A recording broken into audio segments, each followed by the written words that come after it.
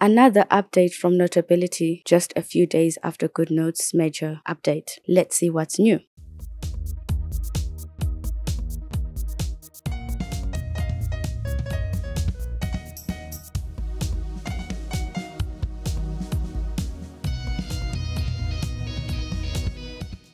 We now have more than 250 signatures on the Notion petition, but we still need more. Please head over to change.org and help us sign this petition to protect Notion users' notes.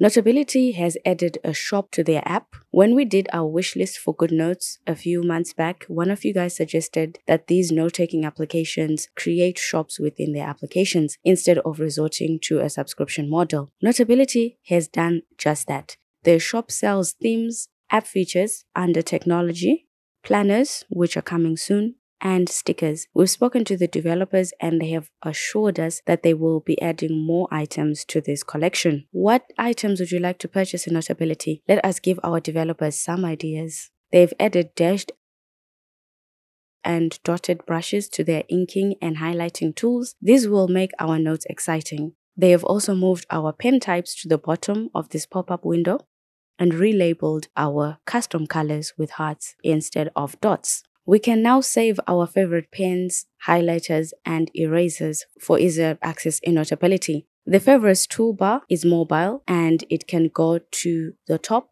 bottom, right, or left side of your screen. It disappears when you select the text tool and when you deactivate your Apple Pencil.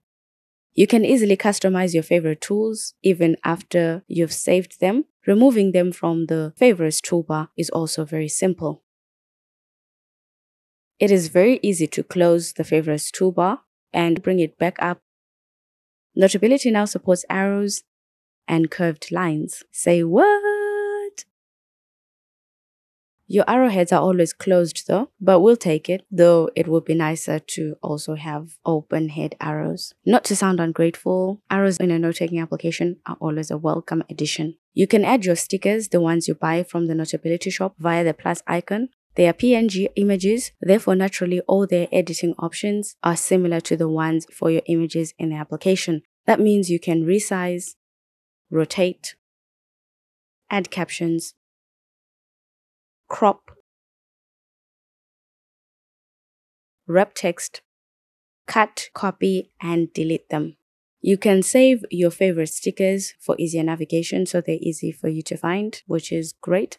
Still no page customization in Notability 10.0. We have contacted the Notability developers on this and they are yet to get back to us. This update is exciting but also disappointing. How can Notability completely ignore page customization for their 10th version of this app? Looking at the bright side, Notability's updates this year have managed to remove a few items of our wish list. What is your favorite update in Notability 10.0? Let us know in the comment section down below. We hope you liked this video. Give it a thumbs up if you did. Awesomely fantastic human. See you in the next video.